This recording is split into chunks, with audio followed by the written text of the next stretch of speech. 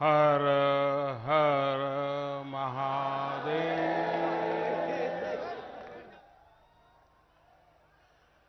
श्री सदगुरु चरण कमलेभ्यो नमः மேடையில் வீற்றிருக்கும் உத்தரப்பிரதேச ஆளுநர் திருமதி ஆனந்திபென் பட்டேல் அவர்களே உத்தரப்பிரதேசத்தின் ஆற்றல் மிக்க கர்மயோகி முக்கியமந்திரி முதலமைச்சர் யோகி ஆத்யநாத் அவர்களே சத்குரு ஆச்சாரிய ஸ்ரீ ஸ்வதந்திர தேவ் மகராஜ் அவர்களே சந்த் பரவர் ஸ்ரீ விக்யான் தேவ் மகராஜ் அவர்களே மத்திய அமைச்சரவையின் எனது சகாக்களே இந்த பகுதியைச் சேர்ந்த பாராளுமன்ற உறுப்பினர் ஸ்ரீ மகேந்திரநாத் பாண்டே அவர்களே உங்கள் பிரதேசத்தின் பிரதிநிதியும் யோகிஜியின் அரசாங்கத்தில் அமைச்சருமான திரு அனில் ராஜ்பர் அவர்களே நாடு முழுவதிலும் மற்றும் வெளிநாடுகளில் இருந்து வந்துள்ள பக்தர்களே சகோதர சகோதரிகளே இங்கு வந்துள்ள அனைத்து நண்பர்களே காசியின் ஆற்றல் அப்படியே இருப்பது மட்டுமல்ல. அது தொடர்ந்து புதிய விரிவாக்கங்களையும் எடுத்து வருகிறது.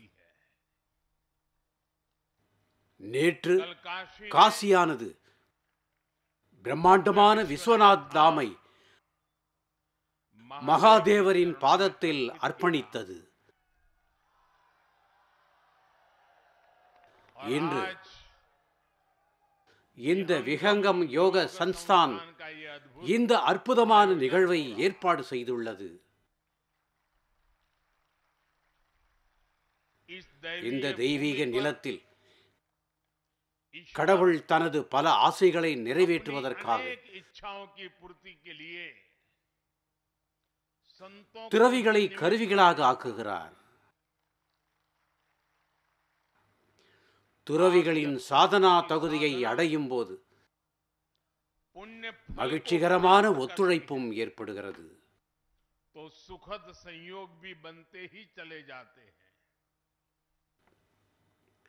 இன்று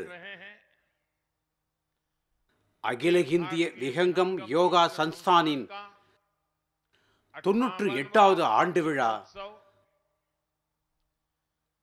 சுதந்திர போராட்டத்தில்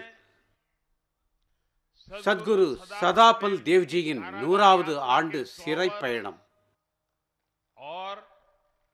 நாடு சுதந்திரம் பெற்ற அமிர்த மகோத்சவம்.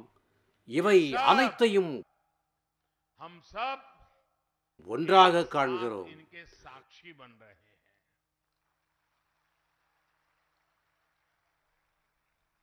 இத்தனை நிகழ்வுகளுடன் இன்று கீதா ஜெயந்தியின் மங்களகரமான சந்தர்ப்பமும் கூட. இதே நாளில் குருட்சேத்திர போர்க்களத்தில் படைகள் நேருக்கு நேர் மோதிய போது மனிதகுல யோகம் ஆன்மீகம் பரமார்த்தம் பற்றிய முழுமையான அறிவு கிடைத்தது. நான் இந்த சந்தர்ப்பத்தில் பகவான் கிருஷ்ணரின் பாதங்களில் பணிந்து உங்கள் அனைவருக்கும் மற்றும் அனைத்து நாட்டு மக்களுக்கும் கீதா ஜெயந்தியை முன்னிட்டு எனது மனமார்ந்த வாழ்த்துக்களை தெரிவித்துக் கொள்கிறேன் சகோதர சகோதரிகளே சத்குரு சதாஃபல் தேவ் அவர்கள் समाज के जागरण के लिए विहंगम योग சமுதாயத்தின் விழிப்புணர்ச்சிக்காக விகங்கம் யோகத்தை மக்களிடம் கொண்டு செல்ல யாகம் நடத்தினார். இன்று அந்த தீர்க்க விதை நமக்கு முன் இவ்வளவு பெரிய ஆலமரமாக நிற்கிறது.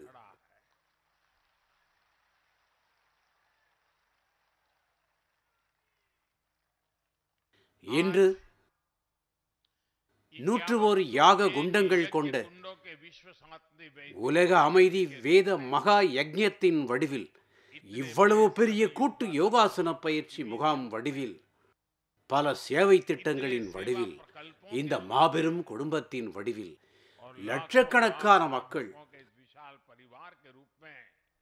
நம் துறவிகளின் சங்கல்ப சாதனையை அனுபவிக்கிறோம்.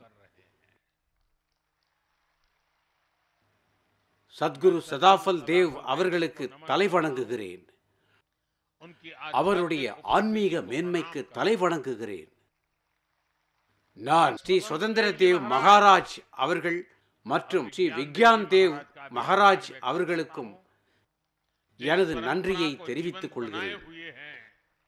இந்த பாரம்பரியத்தை உயிர்ப்புடன் வைத்திருந்து புதிய விரிவாக்கத்தை அளித்து இன்று ஒரு மாபெரும் ஆன்மீக பூமியை உருவாக்கி கொண்டிருப்பதற்காக எனக்கு அதனை தரிசிக்கும் வாய்ப்பு கிடைத்தது.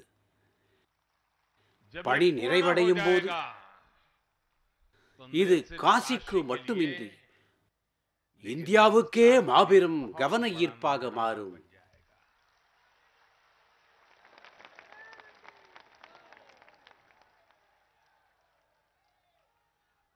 நம் நாடு மிகவும் அற்புதமானது. சோதனையான காலகட்டங்களில் சில துறவி விபூதிகள்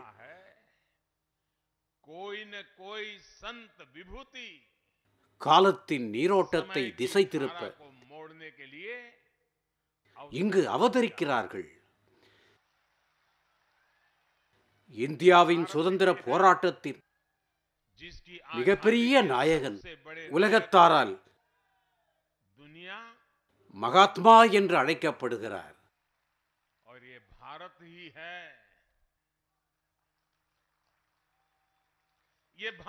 இதே இந்தியாவில்தான் சுதந்திர போராட்ட இயக்கத்திலும் ஆன்மீக உணர்வு தொடர்ந்து பாய்ந்தோடியது. भारत ही है जहां साधकों की संस्था अपने இந்தியாதான் वार्षिकोत्सव को தனது ஆண்டு விழாவை அமுதமாக கொண்டாடுகிறது उत्सव के रूप में मना रही है நண்பர்களே இங்கு ஒவ்வொரு சீடனும் यहाँ हर साथ தனது ஆன்மீக குருதேவ் சுதந்திர போராட்டத்திற்கு வழிகாட்டுதலை வழங்கியதாக பெருமிதம் கொள்கிறார் स्वाधीनता संग्राम को ஒத்துழையாமை இயக்கத்தில் சிறையில் அடைக்கப்பட்ட முதல் நபர்களில்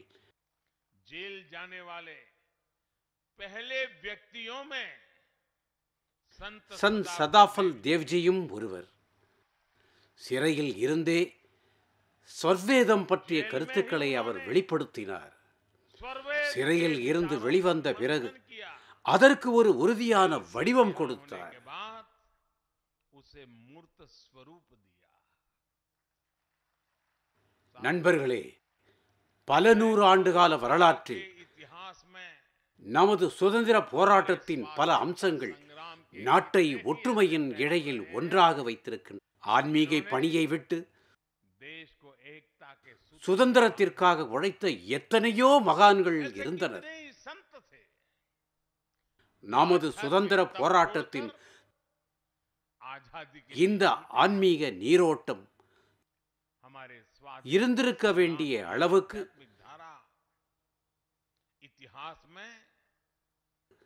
வரலாற்றில் பதிவு செய்யப்படவில்லை.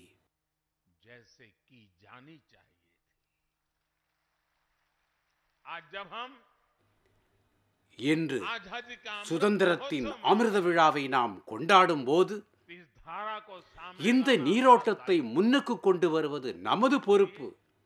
அதனால்தான் இன்று நாடு சுதந்திர போராட்டத்தில் தனது குருக்கள் துறவிகள் மற்றும் தவ யோகிகளின் பங்களிப்பை நினைவு கூறுகிறது. புதிய தலைமுறைக்கு அவர்களின் பங்களிப்பை உணர்த்துகிறது. நான் மகிழ்ச்சி அடைகிறேன் விகங்கம் யோகா சன்சானம் இதில் முக்கிய பங்கு வகிக்கிறது என்பதில். நண்பர்களே எதிர்கால இந்தியாவை வலுப்படுத்த நமது பாரம்பரியங்களை நமது அறிவு தத்துவத்தை விரிவுபடுத்துவது காலத்தின் தேவை. இந்த சாதனைக்கு காசி போன்ற நமது ஆன்மீக மற்றும் கலாச்சார மையங்கள் ஒரு சிறந்த ஊடகமாக மாறக்கூடியவை. நமது நாகரிகத்தின் இந்த பண்டைய நகரங்கள் முழு உலகிற்கும் திசை காட்ட முடியும். பனாரஸ் போன்ற நகரங்கள் கடினமான காலங்களிலும் கூட இந்தியாவின் அடையாளம் கலை தொழில் முனைவு ஆகியவற்றின் விதைகளை மிகவும் பாதுகாத்துள்ளன. எங்கே விதை இருக்கிறதோ அங்கிருந்து மரம் வளரத் தொடங்குகிறது. அதனால்தான் இன்று பனாரஸ் பற்றி பனாரஸின் வளர்ச்சியை பற்றி பேசும்போது அது ஒட்டுமொத்த இந்தியாவின் வளர்ச்சிக்கான வரைபடமாகவும் மாறுகிறது. சகோதர சகோதரிகளே இன்று லட்சக்கணக்கான மக்கள் இங்கு வந்துள்ளனர். நீங்கள் வெவ்வேறு மாநிலங்களில் இருந்து வெவ்வேறு இடங்களில் இருந்து வந்திருக்கிறீர்கள். காசியில் உங்கள் ஆற்றல் உங்கள் நம்பிக்கை மற்றும் வரம்பற்ற சாத்தியக்கூறுகளை உங்களுடன் கொண்டு வந்திருக்கிறீர்கள். நீங்கள் காசையில் இருந்து புறப்படும் போது புதிய சிந்தனைகள் புதிய தீர்மானங்கள் இங்கிருந்து கிடைக்கும் ஆசிர்வாதங்கள் இங்கிருந்து கிடைக்கும் அனுபவங்கள் என பலவற்றை எடுத்து செல்வீர்கள். ஆனால் அன்றைய தினம் நீங்கள் இங்கு வரும்போது என்ன நிலைமை இருந்தது என்பதையும் நினைவில் கொள்ள வேண்டும். மிகவும் புனிதமான இடத்தின் அவல நிலை மக்களை ஏமாற்றியது. ஆனால் இன்று இந்த நிலை மாறி வருகிறது. நாட்டிலிருந்தும் வெளிநாட்டில் இருந்தும் வருபவர்கள் விமான நிலையத்தை விட்டு வெளியே வந்த உடனே எல்லாம் மாறிவிட்டதாக உணர்கிறார்கள். விமான நிலையத்தில் இருந்து நேரடியாக நகரத்தை அடைய அவர்களுக்கு அதிக நேரம் பிடிப்பதில்லை. காசி ரிங் ரோடு பணியையும் சாதனை நேரத்தில் முடித்துள்ளார்கள். பெரிய வாகனங்கள் மற்றும் வெளிவாகனங்கள் தற்போது வெளிப்புறத்திலேயே செல்கின்றன. பனாரஸ் செல்லும் பல சாலைகளும் இப்போது அகலமாகிவிட்டன. பனாரசுக்கு சாலை மார்க்கமாக வருபவர்களுக்கு இந்த வசதி எவ்வளவு வித்தியாசத்தை ஏற்படுத்தியுள்ளது என்பது அவர்களுக்கு நன்றாகவே புரிகிறது. இங்கு வந்த பிறகு பாபா விஸ்வநாதரை தரிசிக்க சென்றாலும் கங்கை கங்கையை தரிசிக்க சென்றாலும் காசியின் மகிமைக்கேற்ப எங்கும் மேன்மை பெருகும்.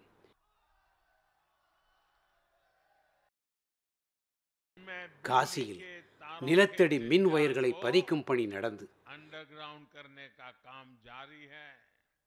லட்சக்கணக்கான லிட்டர் கழிவு நீரும் சுத்திகரிக்கப்படுகிறது. இங்குள்ள நம்பிக்கை மற்றும் சுற்றுலாவுடன் சுற்றுலாவுடன் கலை மற்றும் கலாச்சாரமும் இந்த வளர்ச்சியின் பயனை பெறுகிறது. வணிக வசதி மையமாக இருந்தாலும் ருத்ராட்ச மாநாட்டு மையமாக இருந்தாலும் நெசவாளர்கள் மற்றும் கைவினை கலைஞர்களுக்காக நடத்தப்படும் திட்டங்கள் இன்று காசியின் திறன்கள் புதிய பலம் பெற்று வருகிறது. சுகாதாரத்துறையிலும் நவீன வசதிகள் மற்றும் உள்கட்டமைப்புகள் காரணமாக பனாரஸ் ஒரு பெரிய மருத்துவ மையமாக வளர்ந்து வருகிறது. நண்பர்களே நான் காசிக்கு வரும்போதோ டெல்லியிலே இருந்தாலும் பனாரஸில் நடைபெறும் வளர்ச்சிப் பணிகளை தொடர முயற்சிப்பேன். நேற்று இரவு பனிரெண்டு பனிரெண்டு முப்பது மணிக்கு பிறகு எனக்கு फोन வாய்ப்பு किया, கிடைத்தவுடன் मैं फिर निकल पड़ा எனது காசியில் நடக்கும் வேலையை பார்க்க जो மீண்டும் काम कर சென்றேன் रहे हैं, जो काम किया गया है उनको देखने के लिए निकल पड़ा था गदौलिया में கபுதோலியாவில் जो செய்யப்பட்டுள்ள सुंदरीकरण का काम हुआ है அழகுபடுத்தும் பணி பார்க்க தகுந்தது देखने योग्य बना है वहां कितने அங்கு लोगों பலருடன் ने बात- உரையாடினேன் मैंने मड़ुवाड़ी में மடுவாடியில் உள்ள பனாரஸ் ரயில் நிலையத்தையும் பார்த்தேன். இந்த நிலையமும் தற்போது புதுப்பிக்கப்பட்டுள்ளது. பழையதை தழுவி புதுமையை தழுவி பனாரஸ் நாட்டிற்கு புதிய திசையை அளித்து வருகிறது. நண்பர்களே இந்த வளர்ச்சி பனாரஸ் மற்றும் இங்கு வரும் சுற்றுலா பயணிகளிடம் சாதகமான தாக்கத்தை ஏற்படுத்துகிறது. நாம் இரண்டாயிரத்தி பத்தொன்பது இருபது பற்றி பேசினால் இரண்டாயிரத்தி பதினான்கு பதினைந்துடன் ஒப்பிடும்போது இங்கு வரும் சுற்றுலா பயணிகளின் எண்ணிக்கை இரட்டிப்பாகி உள்ளது. இரண்டாயிரத்து பத்தொன்பது இருபதாம் ஆண்டில் கொரோனா காலத்தில் பாபத்பூர் விமான நிலையத்தில் இருந்து மட்டும் முப்பது லட்சத்திற்கும் அதிகமான பயணிகள் பயணம் செய்துள்ளனர். இந்த மாற்றத்தின் மூலம் காசி நமக்கு உணர்த்தி உள்ளது. விருப்பமிருந்தால் மாற்றம் வரலாம் என்பதை. இதே மாற்றம் நமது மற்ற புனித யாத்திரை மையங்களிலும் தெரிகிறது. கேதார்நாத் பல சிரமங்களை சந்தித்தது. இரண்டாயிரத்தி பதிமூன்றாம் ஆண்டு பேரழிவிற்கு பிறகு மக்கள் வருகை குறைந்திருந்த நிலை மாறி தற்போது அங்கு சாதனை படைக்கும் பக்தர்களின் எண்ணிக்கையும் உள்ளது. இதன் மூலம் வளர்ச்சி மற்றும் வேலை வாய்ப்புக்கான வாய்ப்புகள் எவ்வளவோ உருவாகி வருகின்றன. இளைஞர்களின் கனவுகள் வலுப்பெறுகின்றன. இந்த நம்பிக்கை இன்று நாடு முழுவதும் காணப்படுகிறது. அதே வேகத்தில் இன்று நாடு வளர்ச்சியில் புதிய சாதனைகளை படைத்து வருகிறது. நண்பர்களே சத்குரு சதாஃபல் ஜி சர்வேதத்தில் கூறியுள்ளார் எல்லா உயிர்களிடத்தும் கருணை காட்டுங்கள். தாழ்வு உயர்வை அறியாதே. உன் ஆன்மா துறவு உடல் பெருமை பார்க்க.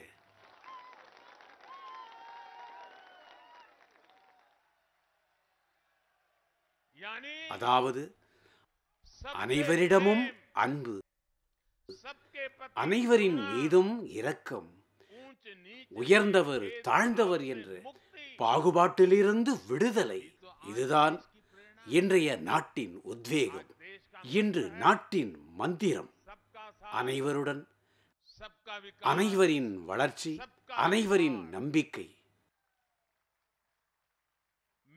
நான் என்னுடையது என்ற சுயநலத்தை விட்டு உயர்ந்து இன்று நாடு அனைவரின் முயற்சி என்ற உறுதியுடன் முன்னேறி வருகிறது.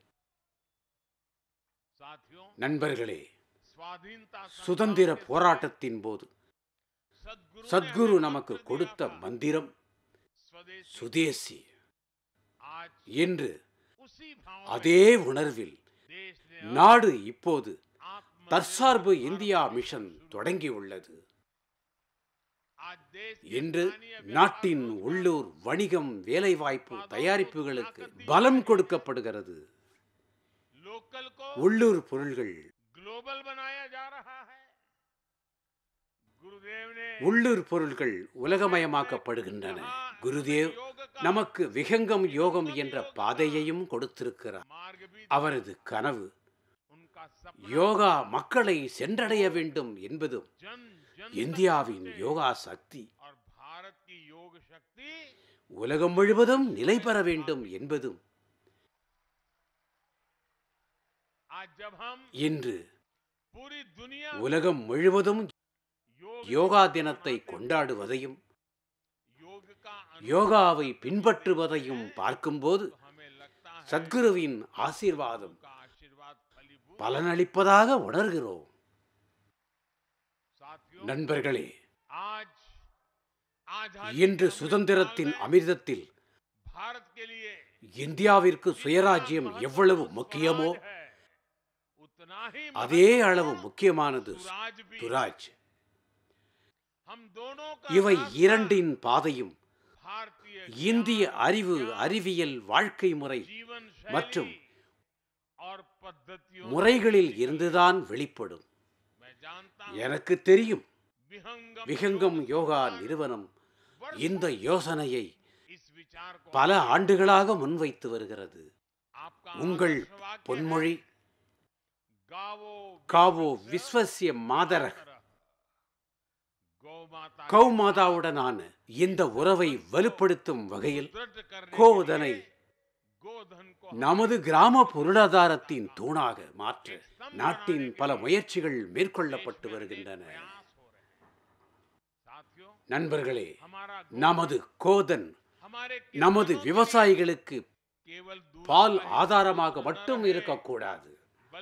ஆனால் பசுவன்ஷ் முன்னேற்றத்தின் மற்ற பரிமாணங்களுக்கும் உதவ வேண்டும் என்பதே எங்கள் முயற்சி. இன்று உலகம் ஆரோக்கியமாகி வருகிறது. ரசாயனங்களை விட்டுவிட்டு இயற்கை விவசாயத்திற்கு திரும்புகிறது. மாட்டு சாணம் ஒரு காலத்தில் இயற்கை விவசாயத்திற்கு ஒரு பெரிய அடிப்படையாக இருந்தது. அது நமது ஆற்றல் தேவைகளையும் பூர்த்தி செய்கிறது. என்று நாடு இயற்கை விவசாயத்தை ஊக்குவித்து கோபர்தன் திட்டத்தின் மூலம் உயிரி எரிபொருளை ஊக்குவிக்கிறது. எல்லாவற்றிற்கும் மேலாக ஒரு வகையில் சுற்றுச்சூழலும் பாதுகாக்கப்படுகிறது. இன்று முதல் இரண்டு நாட்கள். அதாவது பதினாறாம் தேதி. Zero budget. இயற்கை விவசாயம் என்ற தலைப்பில் தேசிய அளவிலான மாபெரும் நிகழ்ச்சியும் நடைபெறவுள்ளது. நாடு முழுவதும் உள்ள விவசாயிகள் இதில் ஈடுபடுவார்கள். நான் விரும்புகிறேன். நீங்கள் அனைவரும் டிசம்பர் பதினாறாம் தேதி இயற்கை விவசாயத்தை பற்றிய அதிகபட்ச தகவல்களை பெற்று வீடு வீடாக சென்று விவசாயிகளுக்கு சொல்ல வேண்டும் என்று இது ஒரு வெகுஜன இயக்கமாக மாற வேண்டிய ஒரு பணியாகும். இதில் நீங்கள் அனைவரும் முக்கிய பங்கு வகிக்கலாம். நண்பர்களே சுதந்திர தினமான அமிர்த திருவிழாவில் நாடு பல தீர்மானங்களை நிறைவேற்றி வருகிறது. விஹங்கம் யோகா சன்ஸ்தான் சத்குரு சதாஃபல் தேவ்ஜியின் வழிமுறைகளை பின்பற்றி நீண்ட காலமாக பல சமூக நலப்பிரச்சாரங்களை நடத்தி வருகிறது. இன்றிலிருந்து இரண்டு ஆண்டுகளுக்கு பிறகு நூறாவது மாநாட்டிற்கு நீங்கள் அனைவரும் இங்கு கூடுவீர்கள். இது இரண்டு வருடங்கள் மிகவும் நல்ல நேரம். இதை மனதில் வைத்து இன்று உங்கள் அனைவரையும் சில தீர்மானங்களை எடுக்குமாறு கேட்டுக்கொள்கிறேன். இந்த தீர்மானங்கள் சத்குருவின் தீர்மானங்கள் நிறைவேறும் வகையிலும் நாட்டின் விருப்பங்களையும் உள்ளடக்கியதாகவும் இருக்க வேண்டும். இவை அடுத்த இரண்டு ஆண்டுகளில் உத்வேகம் கொடுக்கப்பட வேண்டிய தீர்மானங்களாக இருக்கலாம். ஒன்றாக நிறைவேற்றப்படும் ஒரு தீர்மானம் இருக்கலாம்.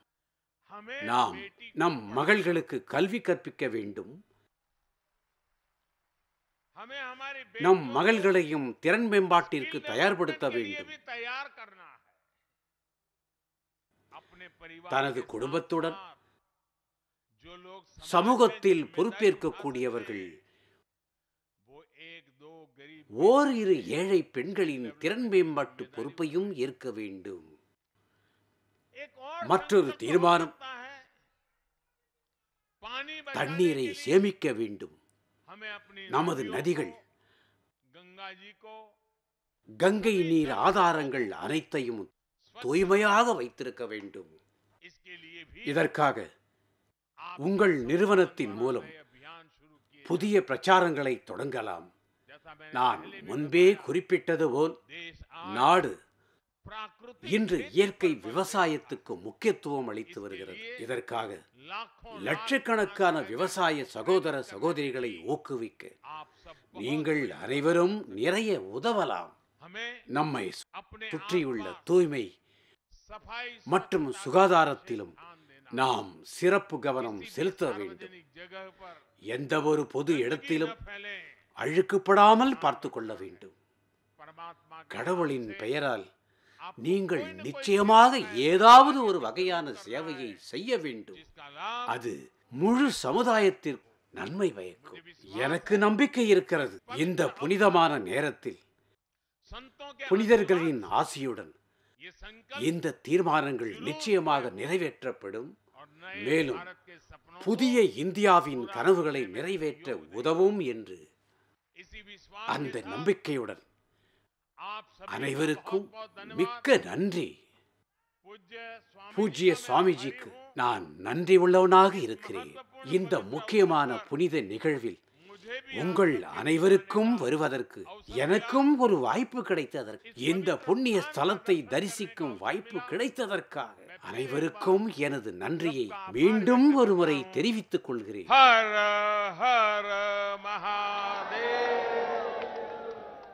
बहुत बहुत धन्यवाद।